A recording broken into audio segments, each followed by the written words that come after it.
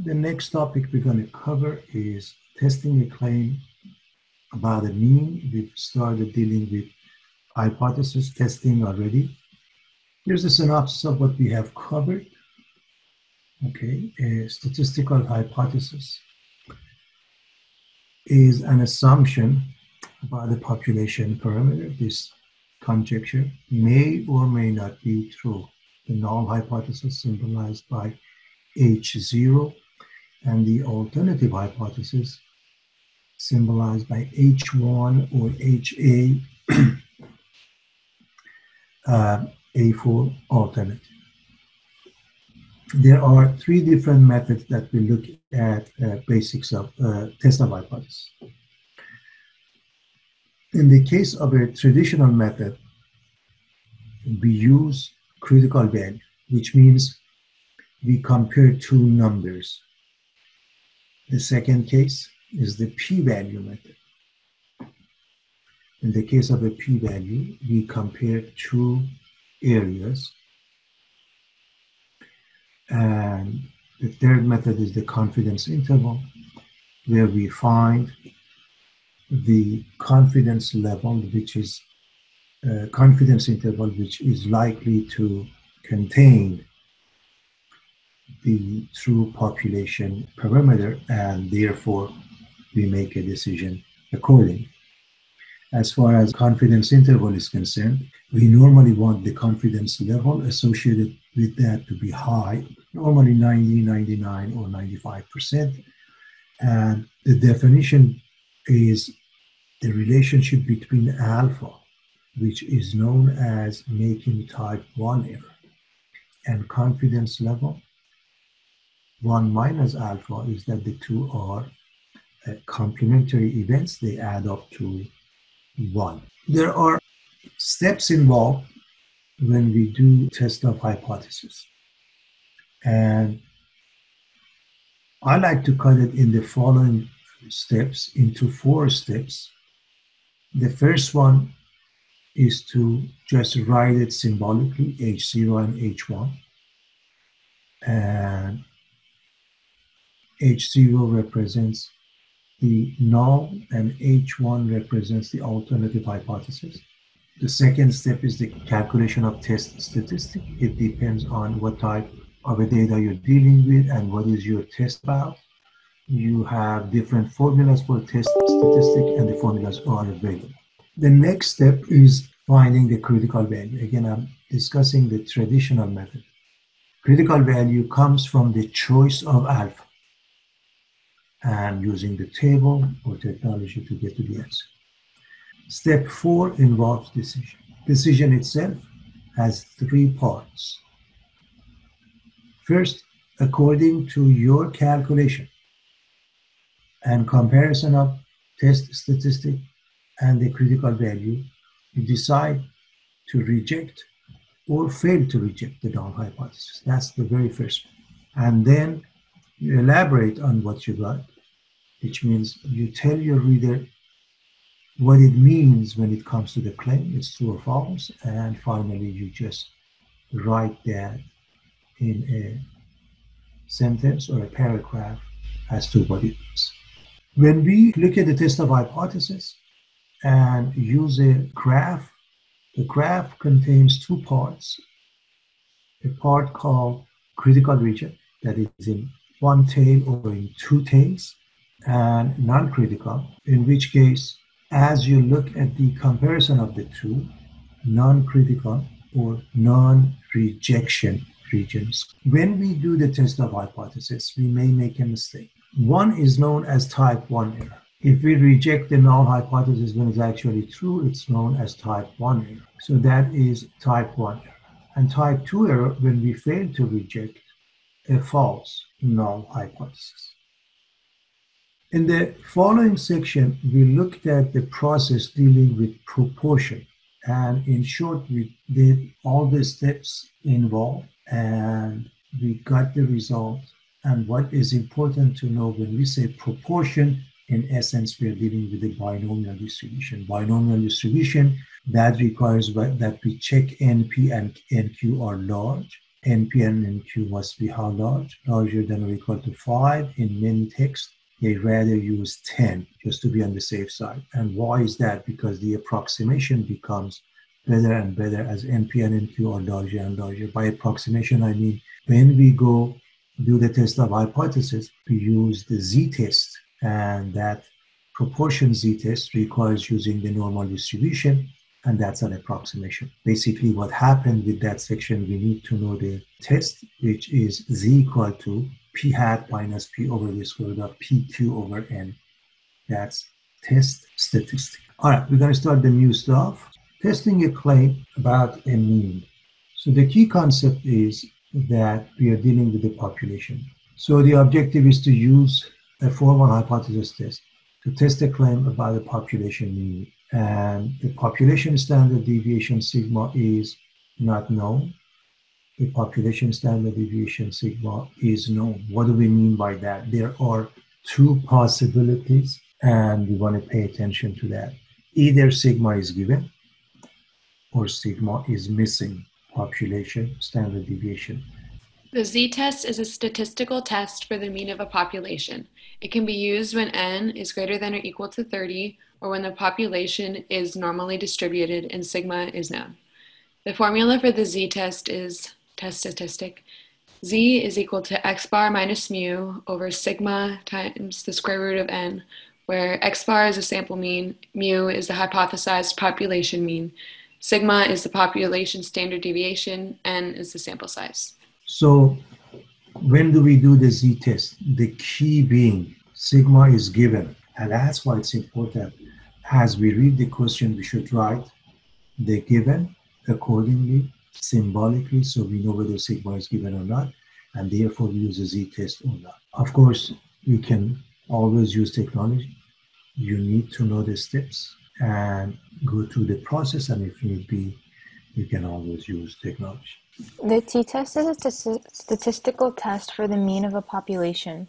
It can be used when n is greater than or equal to 30 or when the population is normally distributed and sigma is not known. The formula for the t-test is test statistic t is equal to x bar minus mu over s over square root of n, where x bar is equal to the sample mean mu is equal to the hypothesized population mean, sigma is equal to the population standard deviation, and n is equal to the sample size. So what is important here? The key is sigma is not given. And of course, S is the sample. And normally, sigma is missing. You can use technology to get to the answer. Before that, you really need to know the steps, as I mentioned before.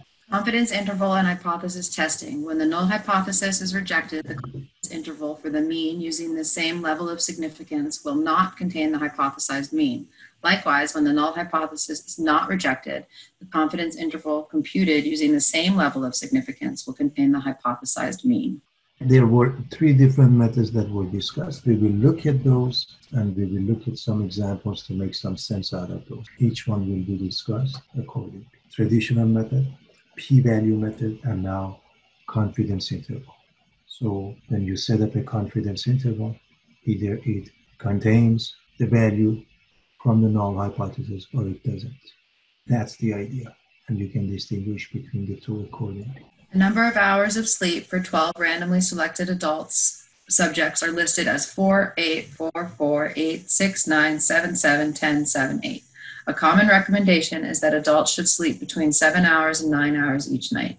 Use a 0.05 significance level to test the claim that the mean amount of sleep for adults is less than seven hours. Assume normal distribution. Let's see what's given. As we look at this question, obviously we can count okay, or we can look at this number and this is it. There are 12 pieces of data. Alpha is 0.05. What is it that we are testing? Use a 0.05 significance level to test the claim that the mean amount. See, you really have to pay attention to this because this tells you what is your test. So your test involves mu of sleep for adults is less than seven hours, less than seven hours. So right away that means mu is seven. Okay. Now, as you can see, population standard deviation is not given. Okay. Also, we are assuming what? Normal distribution. We are assuming normal distribution. Okay. We are assuming ND. So what do we do? We know how to calculate the mean and standard deviation of any sample. Uh, for the sake of argument, in a case like this, we put it into technology and it gives us the answer. I'm assuming everybody can calculate those. Just in case, of course, the formula I'm going to remind you, x bar is summation of x over n. So you can add them up, divide by size, which is 12. And s is the square root, x minus x bar quantity squared over n minus x minus x bar. Can be done by hand, we're going to do it by technology. So therefore, here's the given. We are dealing with the normal distribution. n is 12, alpha is 0.05, mu is 7, and technology results in x bar and s as follows it's important to see sigma is missing. And so the very first step is H0 and H1. You said the question is asking for the amount, the mean amount, so mu. So mu is less than 7 becomes H1 or the alternative. So H0 is equal to that. And I hope you see that according to the question, what is it that we are testing? The claim that it's less than seven. So H1 is not only a left tail test, it is also the claim here. Okay. Now, the next step is the calculation of test statistic. So I want you to pay attention to the bottom left in blue. I have given you the steps. The first step is done. The second step, you have to use test statistics. So you use your formula sheet and you see the formula at the very top and you simply plug in t is equal to x bar minus mu over s over square root of n. Everything is found. Plug in, calculate negative 0.290. The third step, the third step involves critical value. Critical value comes from the choice of alpha alpha is given as 0.05. This is using the t distribution because sigma is unknown. So we need degrees of freedom, which is n minus 1. And the table. By now, I think we are sort of comfortable with using the table.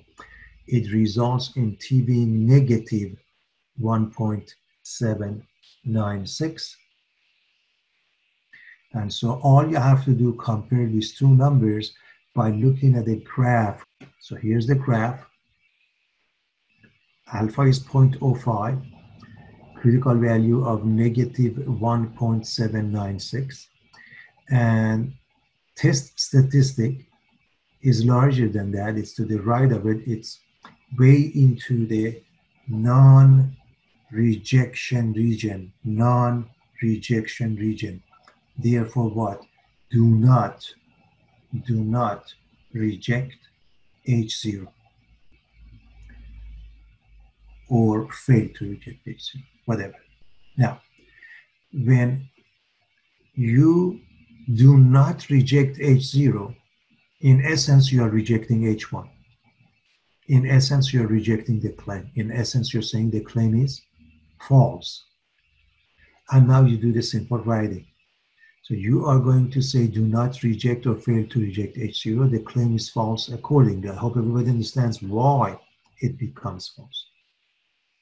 And the wording, you just use the universal wording. There is, or in this case, there is not, there is not sufficient evidence to support the claim that the mean amount of adult sleep is less than seven hours. Again, this is according to the data. And needless to say, it's a small data, but that's the idea behind the test of hypothesis. We want to find something about the population, uh, and we use sample. We can use the p-value method, okay, just for the sake of illustration. By the way, one is good enough. You don't have to do all three, but for the sake of illustration, when it comes to the p-value, I want to explain that here. The idea is that if I'm interested in finding the p-value, I'm interested in looking at whether it's left tail test or right tail test first. Obviously, this is a left tail test. Therefore, it's to the left of test statistic. So if I'm looking at this one, right now with the traditional method, what did I do? I compared, look at step two and three. I compared two numbers, okay? I compared number negative 0.290 and number negative 1.796. P-value does what? Compares the area. So look at the alpha of 0.05. Okay, you can see the region, the uh, green shaded region of 0.05. Now, the p-value says, in this case, because it's a left-hand test, to the left, the area to the left of your test statistic, okay? All right, so negative 0.290, if we were to look at this, this whole thing would be considered your p-value. So what are we doing here? We are comparing two areas. One area is alpha equals 0.05. One area is the p-value. When the p-value is larger than alpha, we are way into the non-rejection region. So do not reject H0. In other words, you better get the same result. But it's important to see how it works. Again, traditional method compares to numbers, p-value compares to areas. So here's the p-value. Again, when you do the technology, by the way, you can put in the information. I've given you this stuff up there so you can see how that works. So you plug in and notice the p-value when you go through the technology. And, and, the reason I mention that because especially in the case of a t-table, the table is extremely limited, but you can have an idea of what's going on. But from here, here's your p-value, which is clearly larger than 0.05 and therefore do not you, you, get to the same result. Do not reject hc okay? It's way larger than alpha which was again 0.05 now this is a left tail test. T test statistic was negative 0.290 and so the p-value is the area to the left of that.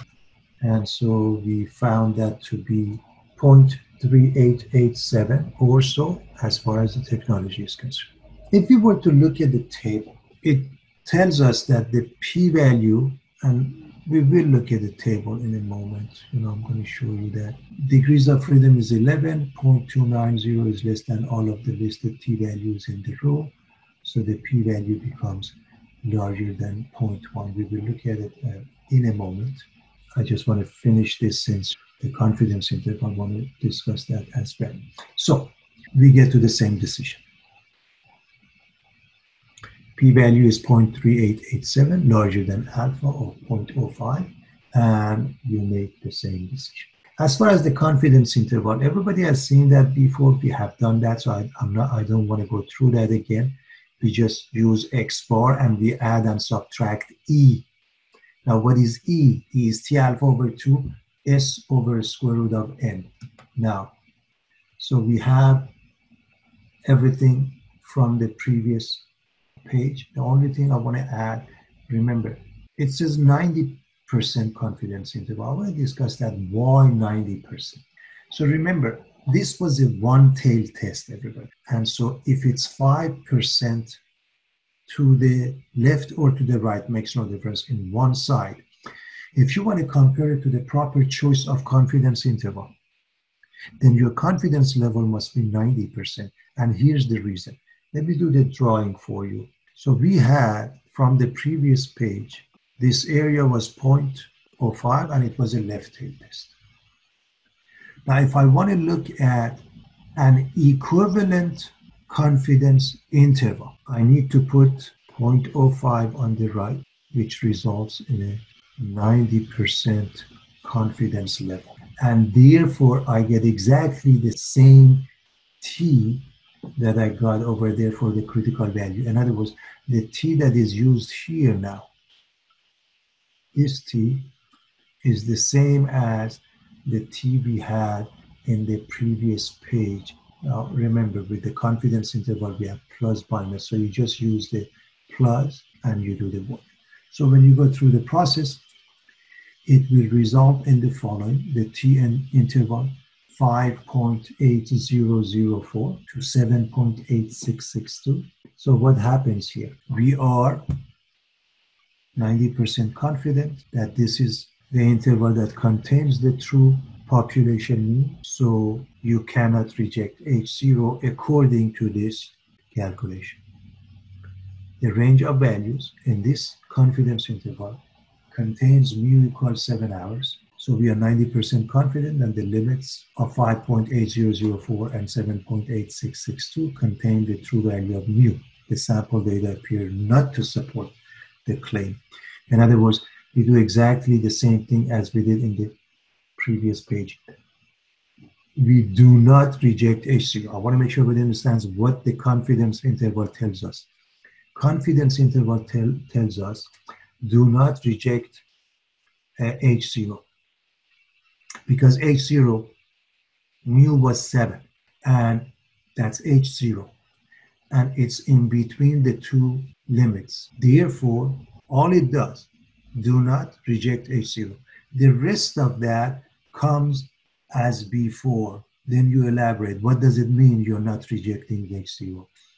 It means the claim is true or false. If you're not rejecting H0, you're rejecting H1, the claim becomes false, and you know the rest.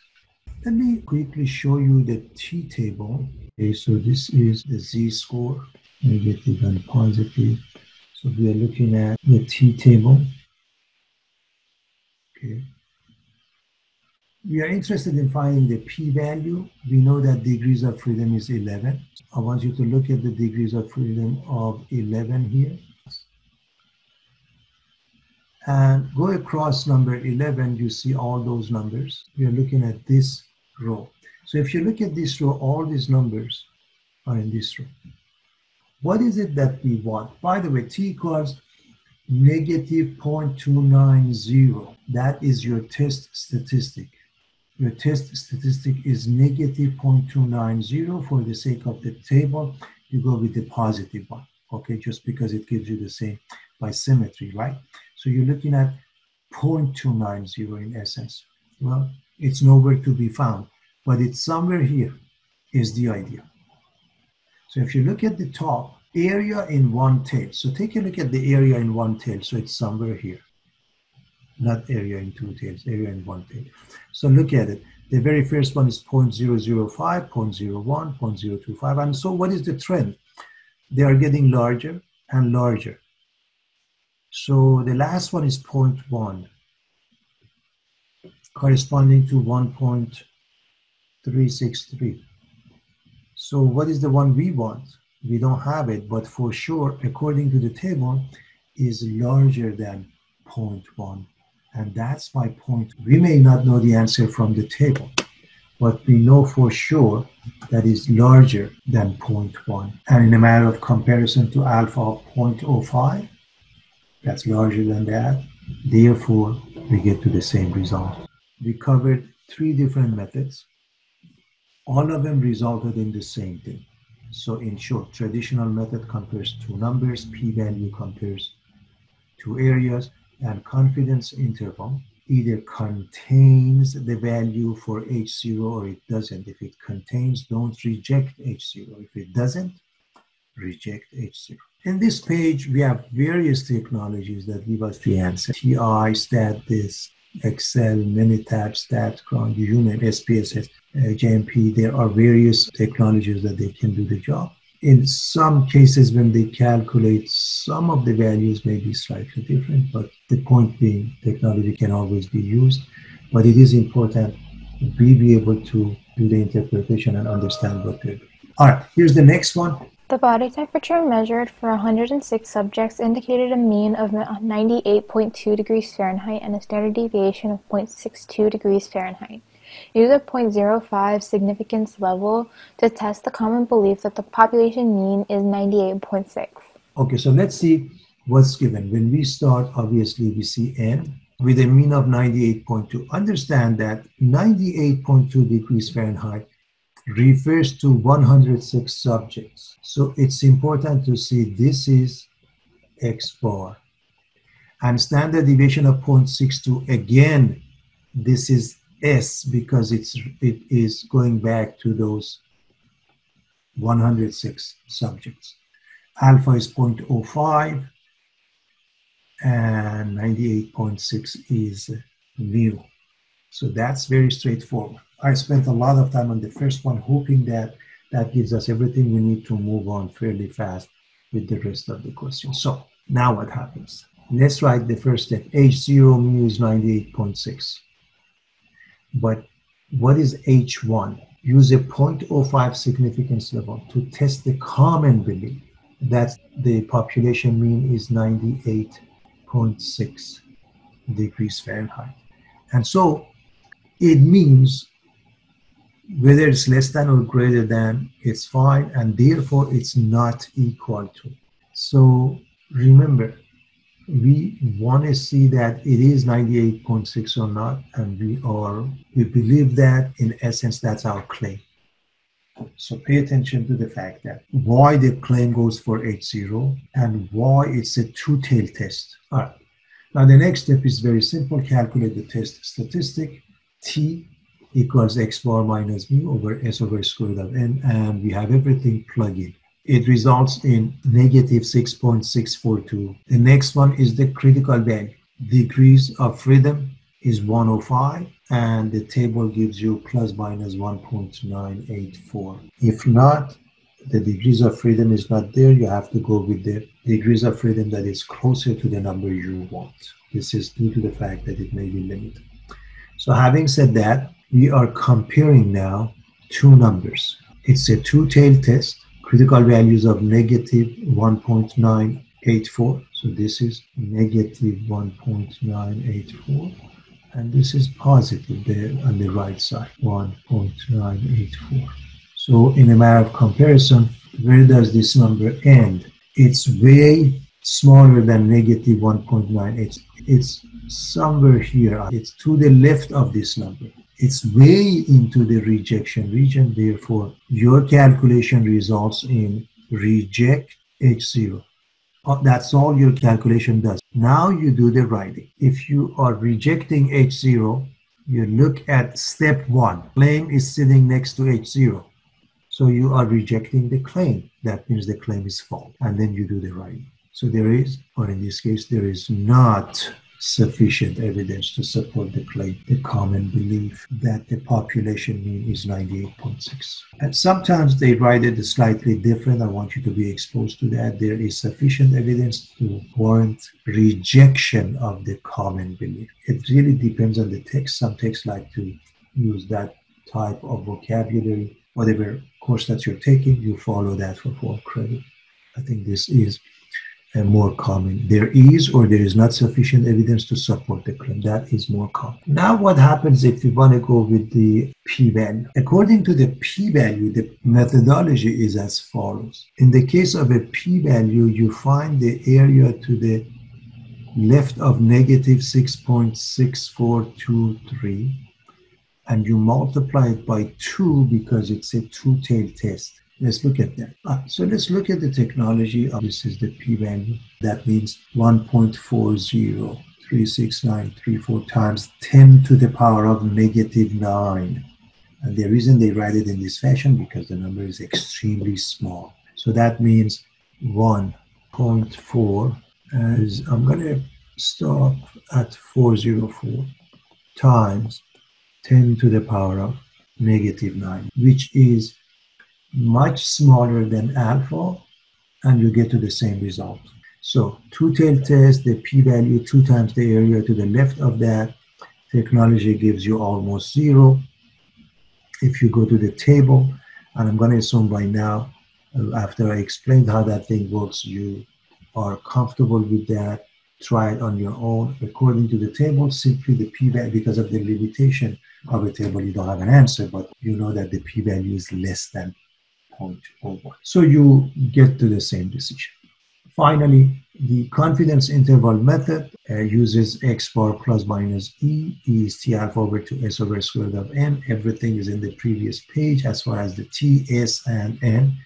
Plug in and add up, and if you use technology, you come up with the answer of 98.081 and 98.319, which means we are 95% confident. The true population mean is somewhere in between.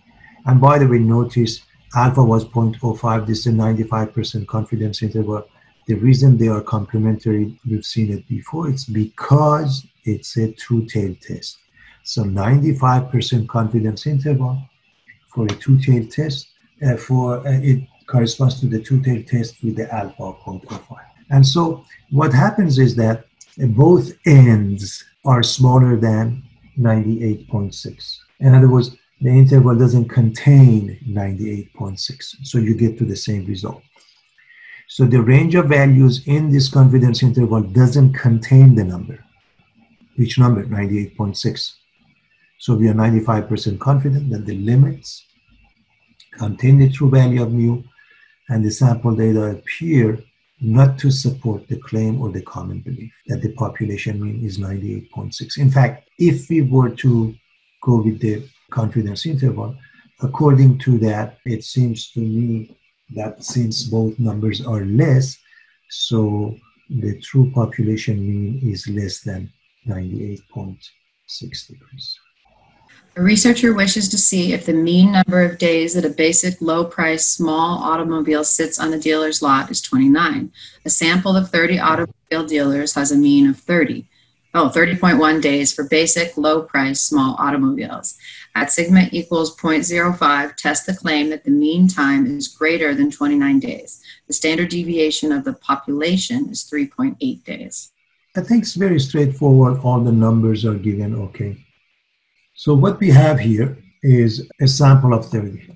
So that's n. We see the first number. For that sample, the average mean is 30.1 days, 30.1 days. For 30 samples, that's what we have. By the way, this is mu.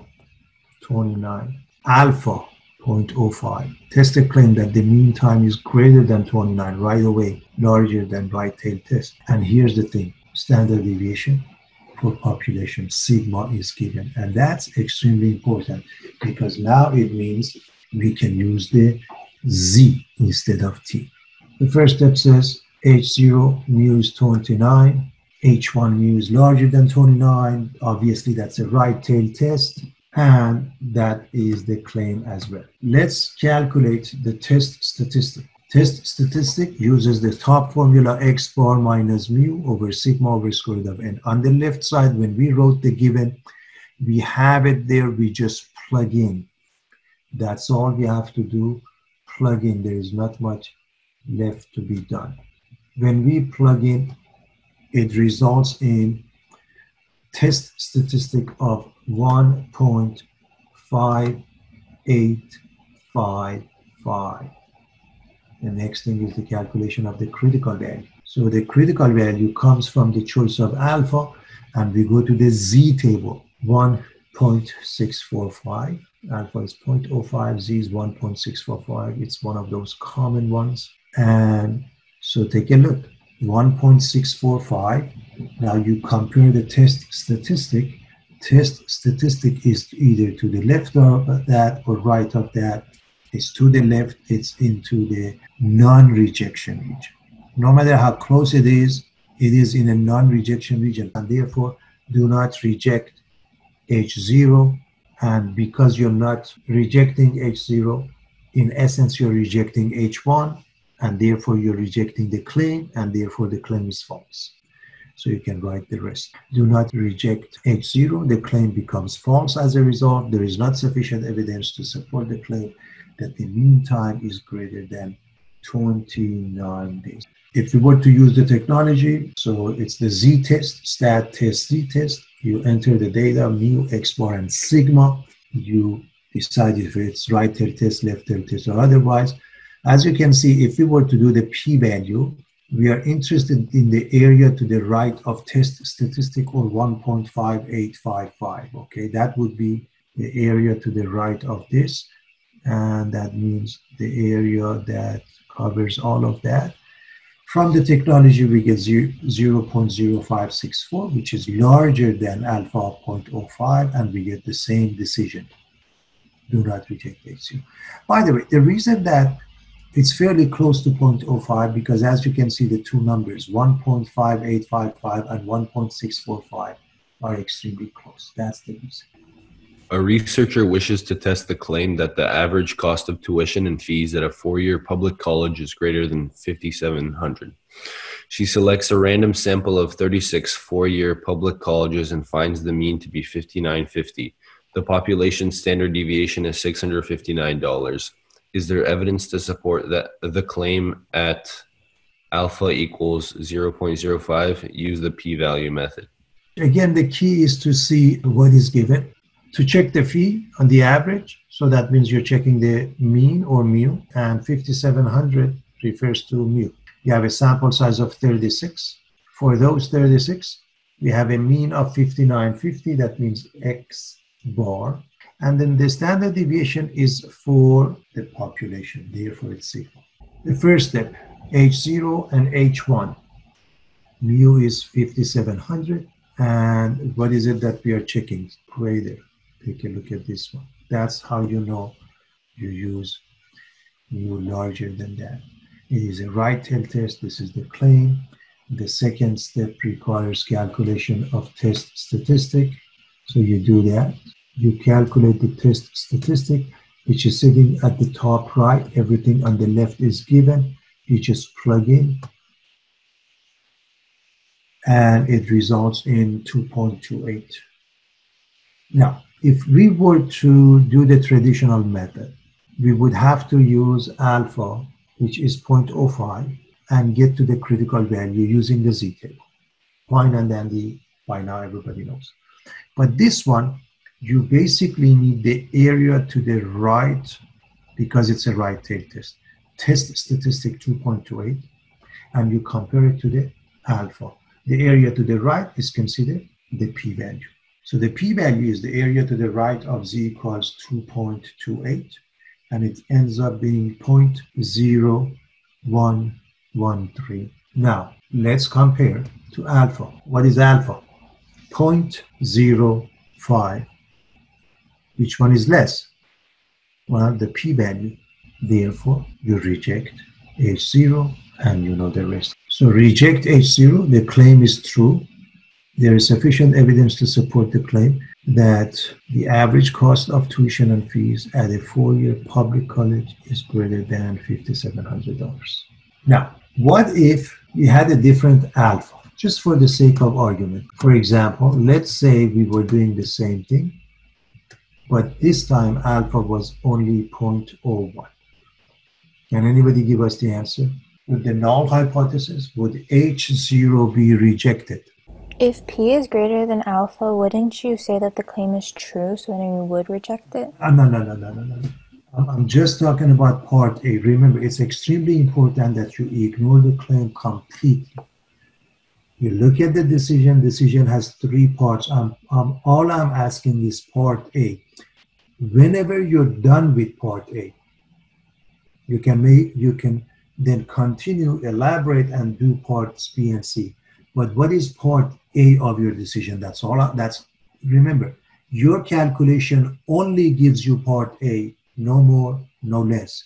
Then you continue uh, explaining what that means to your readers. So tell me about part A only. That's what this question is asking. If alpha is 0.01, would the null hypothesis be rejected? Yes or no? In other words, A, reject H0 or fail to reject H0. Which one and why? You would reject it. Say it again. Would you reject it? You're asking me? uh, you would reject no. it. No. So you're saying the same decision. No. Uh, what is the p-value? Isn't this 0.0113? Yes. When you compare it to this, which one is larger? P-value P is greater than than it. Alpha. Therefore, don't reject H0. And that's important for everybody to understand. Otherwise, you're not understanding the concept. The p-value 0.0113 is less than alpha of 0.05. That's why in the original question, we reject H0, done. But what I'm saying is that what if we change the choice of alpha from 0.05 to 0.01? The p-value is not changing, but the alpha is now 0.01. The p-value now is larger than alpha of 0.01. Don't reject H0. That means the claim becomes false. And then there is not sufficient evidence to support the claim, da da da da da. I highly recommend you go back on this question and understand what happens here. You have the question, and all we do when we do the calculation, we answer part A, everybody. We answer part A.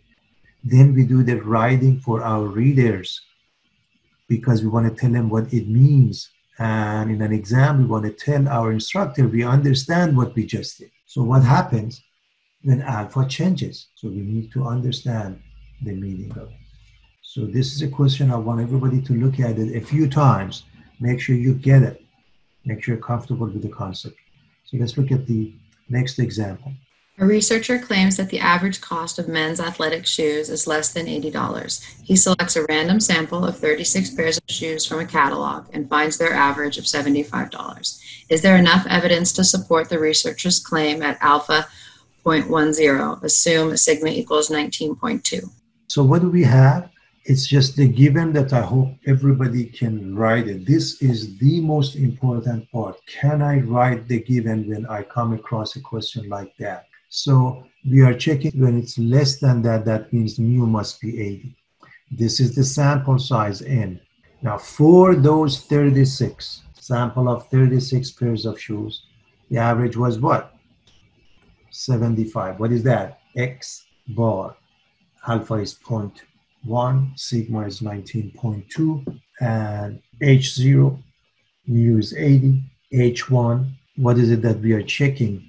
less than, so mu is less than 80, which is the claim. A researcher claims.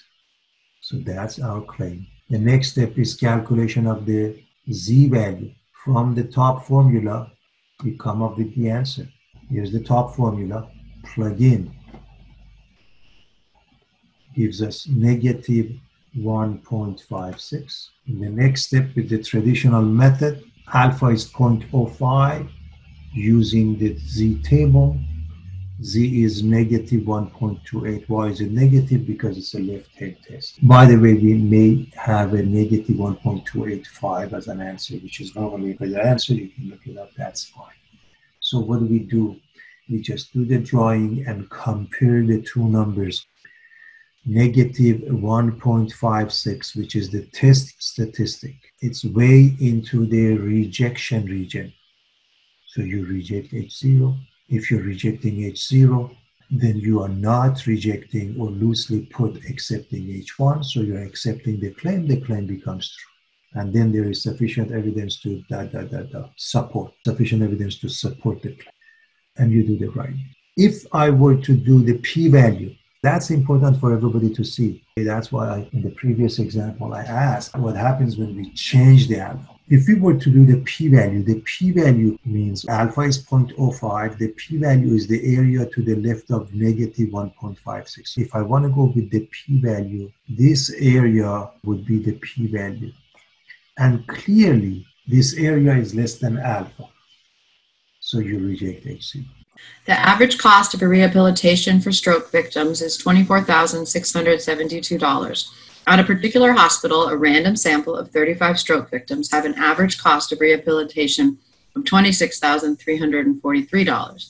The standard deviation of the population is or 3,251. At sigma equals 0.01, can it be concluded that the average cost of stroke rehabilitation at a particular hospital is different from 24,672. So this is mu, a random sample of 35, that's n have an average cost of rehabilitation of this much $26,343. That's bar. The population, and that's important. Standard deviation for the population sigma is known to be 3251, 3251. Alpha is 0.01. So, can it be concluded that the average cost of stroke rehabilitation at a particular hospital is different? So, it doesn't say less than or greater than. So, it's not equal. So, first and foremost, this is what's given and n is large, meaning larger than 30. It's a simple random sample. Even if they don't say assume normality, we can continue with that thought. Sigma is given. And so the very first step, H0 mu is $24,672 and H1 is not equal to that and H1 is the claim. That's what we are checking. The second step is using the top formula. We just plug in everything is there. When we wrote the given, we wrote everything, plug in. So we calculate that as 3.04. The next one is getting to the CV, critical value. Alpha is given as 0.05.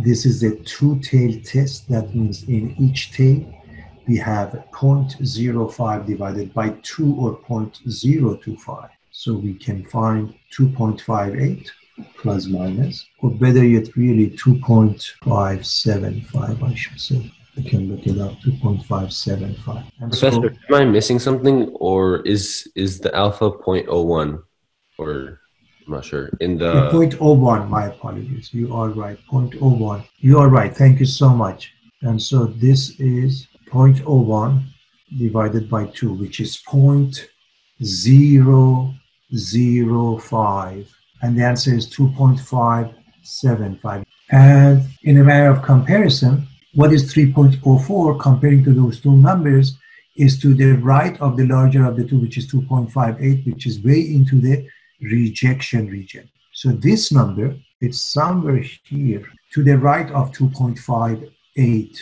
Therefore, reject H0. So if you're rejecting H0, that means you're accepting H1. So we are accepting H1. That means we're accepting the claim. That means the claim is true. So there is sufficient evidence to support the claim, and then we do the writing.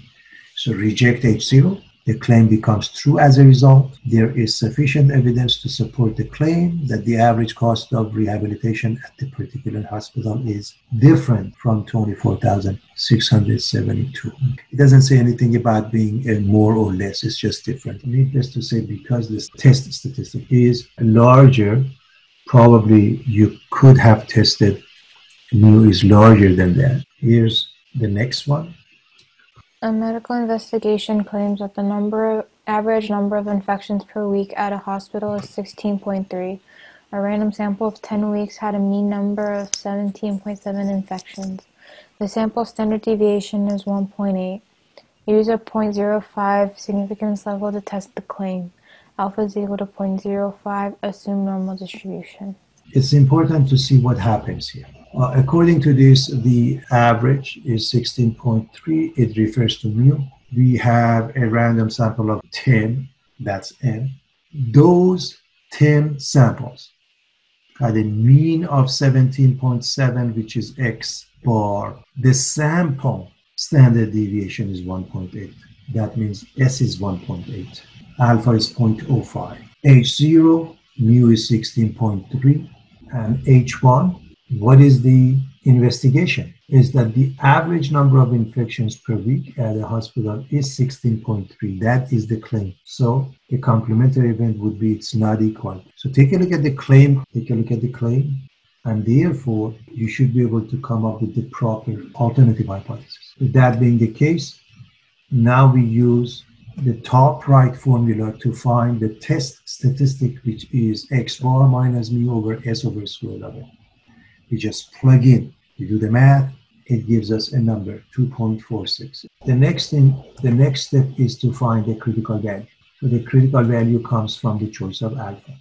Alpha is 0.05. We are using the t distribution because sigma is missing. Therefore, therefore we need the degrees of freedom of n minus 1, which is 10 minus 1. It's a two-tailed test, alpha 0.05 in two tails. The, re, the result is 2.262 plus and minus. Therefore, if we do the drawing and comparing, this is what we get. So now what happens? Compare the location of test statistic to the two critical values. It's way into the rejection region on the right side, everybody, way into the rejection region. So you reject. What do you reject? You reject H0. And then you elaborate. Now you go look at H, look at the very first step. If you're rejecting H0, then you're rejecting the claim. The claim becomes false. There is not sufficient evidence to support the claim. Or this is another way I put this on purpose so you see in case if it's slightly different how you put it. There is enough evidence to reject the claim. Uh, I'm giving you different wordings because it really depends on the text that you're dealing with. So one more time. Normally we would go with there is not sufficient evidence to support the claim. There is not enough evidence. There is not sufficient evidence. But in this case, you may see there is enough evidence to reject. That's why I put the reject in red. So I, I want to highlight that, the difference between the two. And in essence, we are giving the same sentence. Let's look at one more example. An educator claims that the average salary of substitute teachers in some school districts is less than $60 per day. A random sample of eight school districts, districts is selected, and the daily salaries in dollars are shown. Is there enough evidence to support the educator's claim at alpha equals 0.10? Assume normal distribution. And then there's the list of numbers. Again, it's simple to see what is given, those numbers. You can calculate the information by hand or use a technology and the technology gives you that. And so therefore you can write the given n is 8 alpha is 0.1 you can see that. And now from the calculation you see that x bar is 58.875 and s is 5.0832 i want to show you this one. I'm going to call it number one and I'm going to call it number two. When you uh, put it into a TI calculator, it doesn't know whether you're dealing with a sample or a population. It gives you two answers. The first one is for a sample. The second one is for a population. This was a sample, and you know that. So you make a decision that the answer is the first one. Why we are given two answers? Because the calculator doesn't know it's a sample of a population. You do, and so you pick up the correct answer. Now we have that. Step one is very straightforward. Mu is 60, H0, and H1 mu is less than 60, which is a left tail test and the claim. That's your first step. Your second step is calculating the test statistic. That's a very straightforward and simple process using the top formula, you can come up with the answer. You just plug it. That's all you do. And you get to the answer, which is negative 0.624. Now, critical value, alpha is 0.1, T distribution, T table, you need degrees of freedom of n minus 1 or 7. So from the table or technology, you end up with negative 1.415. So if you do the drawing, what happens in a matter of comparison test statistic is way into the non-rejection region. So this is your critical value class and this is your test statistic, and it's way into the non-rejection region. So all your calculation does, it says, do not reject or fail to reject H0. That's what your calculation does. Now you do the writing. So do not reject H0. What does it mean? That means you reject H1 loosely. That means the claim becomes false. And that's the idea.